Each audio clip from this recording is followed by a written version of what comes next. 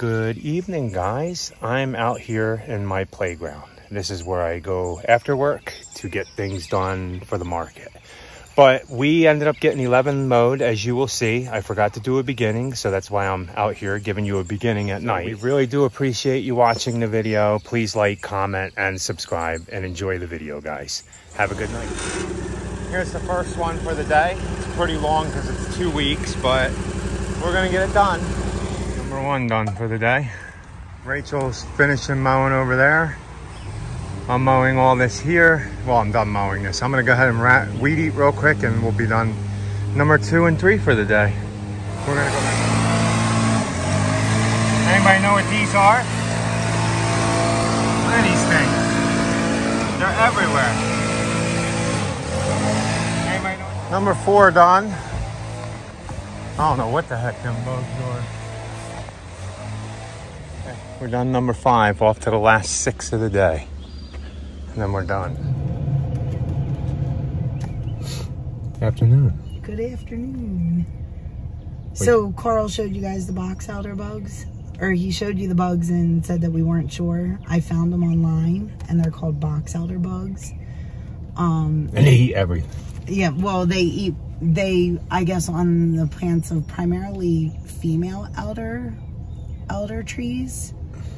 So I don't know where they're coming from, but they do winterize like inside houses and where we saw them was inside the fence. So. They're probably just as bad as stink bugs. Yeah, they do say that when you kill them, they give off like a pungent smell. They, it did say that. Rachel just learned all that by looking at the internet. Yeah, I just real quickly, I didn't even do that much research on them. I just real quickly because I wanted to make sure that is it something that we should have to take care of? Does Bifen take it out? No. I don't know. I, we're gonna have to do more research. So if anybody knows about the box elder.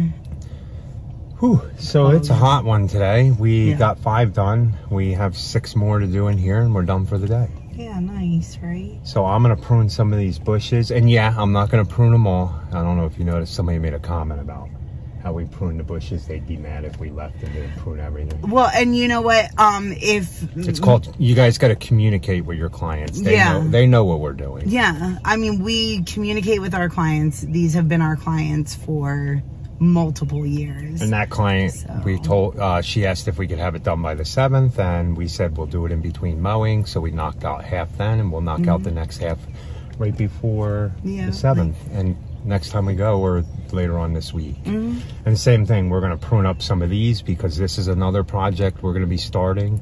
If we're in here mowing and I can shape up some bushes, once you prune them, it's going to take a month or two for them to really put on any big growth anyway. Yeah. But, and then we nip them when we come back. Like the other one we started, um, we're going back there tomorrow because we needed a whole day for that. And we needed to catch up on mowing. So we put that mowing for tomorrow. We'll prune more and then we'll start to mulch on that. Yeah. Then we'll be back over here. I'll show you what we're doing here. This is, after we're done that one, we'll feel fully finish this one. Yeah. We're back and forth between projects. That's how we've always worked. That's um, how we've um, been for 12 years and, and all our clients know. Yeah.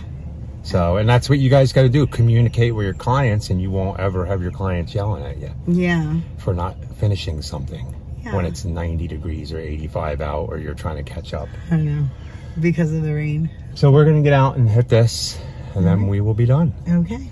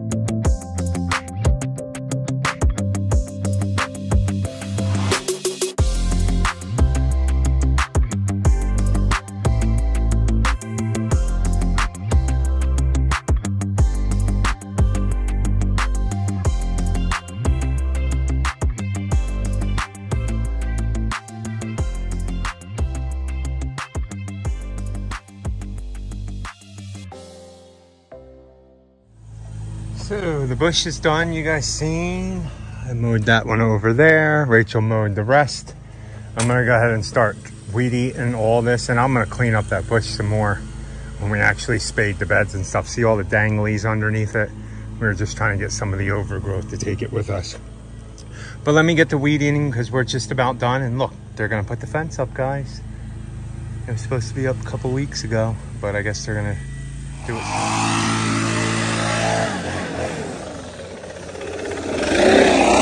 Done this one, all these. I messed up and cut that down to three and a quarter. We're gonna see how I mowed that first one. Have you guys ever done that? I mowed that first one all the way down there and it's mostly weeds. So I put it down to three and a quarter and I forgot to raise it when I got over there on my second pass, I realized. So we cut that one down to three and a quarter. So with this, we're pruning everything in the front here. These big trees, we're gonna lift up some of this. We're pulling them two bushes right in the walkway out and putting two Blue Point junipers. And we're putting four emerald green arborvitaes from the fence to this bush line here to block the neighbors. And then mulching everything for that one. Not bad. Quick, easy little project. It's gonna get hot. It's gonna get hot. Yeah. Not that hot out. It's only 82. If oh, it feels 80, I don't know. It feels hotter than that. Yeah, I think it feels more like 90. But we're done. It's 3:30. Yeah. Are you guys done on 3:30? At 3:30? We didn't do much. We didn't do much. No, we mowed 11 yards Yeah, we did pretty good. and pruned a bush. Yeah. Yeah, just think if we left earlier, we would have been done at like 12:30, 1 o'clock. Well, we did leave kind of early. Like 9:30, I think, 9 maybe. We went out and did three first. Yeah. So, So, not bad. Tomorrow we're gonna get back to that other pruning because that needs to be mowed. She's like two weeks and four days. Donna, how'd that happen? we skipped her last time. Remember? We didn't go to her. We were supposed to go back to her. I think she's a little over two weeks. Two weeks and a day tomorrow. Oh. So hers doesn't grow too much. Oh. I think it is. Yeah, because we didn't do them the same time as that. You'll have to look. No, we just did her last Monday because we did the pruning. Was it on Monday? No, right? I don't know. I'll have to look. Yeah. I thought it rained all day Monday. I thought that was the Monday before. Oh, maybe. I don't know. Oh, yeah, maybe because I forgot that we had a full week of rain last yeah, week. like nine inches. That's so. why. Because Now it's hot and dry, and we're not predicted to get any rain in a fortnight. So there's a chance on Thursday. What was it? Four days ago, it was an 80% chance. Now it's down to a 35% chance. One extreme to the other. So, What are you gonna do? Just go with the flow, I guess, right? yep. So, yeah, let us know if you guys know anything about the box elder bugs because I'm curious and I have to do more research. Yeah, I thought that. I don't know. I've never seen that many before on a fence. Yeah, that was a you lot. guys, where you guys seen? They were scattered already. There was like a hundred of them in one little cluster. So Yeah, when I opened the door. Yeah, so like when I opened the gate is when I saw them and then they just like started scattering everywhere. And I brought Carl over to look at them because I wanted him to get a look before they all went away. And then it was pretty easy to find. All I did was typed in like black and red bug and it came up right away. So Yeah, or Um, you just take a picture, I think, and just look it up on. Yeah, like Rachel Yeah. did, looked it up online. You guys can get information on it. Everything's online. Yeah, so I'm just gonna have to look at a couple different resources and see what they say. Like, if it's not an issue, I just think that there's so many of them, and the shingles on the house, I think, would be. That's why they would want to maybe treat the house. They go under there, under shingles. Yeah, it says Oh. that they can make their way into the house. They like Uh, wood, Well, is apparently what they like. need an so. exterminator for that. Yeah. So, all right, well, we're done. So please like, comment, share, and subscribe. And be happy, guys. or at least try. Have a good Have night. a good night. Hey guys, you want to see something real quick when we end the video? Let's see. Oh, yeah, look, like she flew out right there. See her? That's our bluebird. Let me show you guys her eggs real quick. She goes in and out, look. I can't see how many are in there. They haven't hatched yet. They haven't had yet. No, I had to show them because it's usually on the other channel.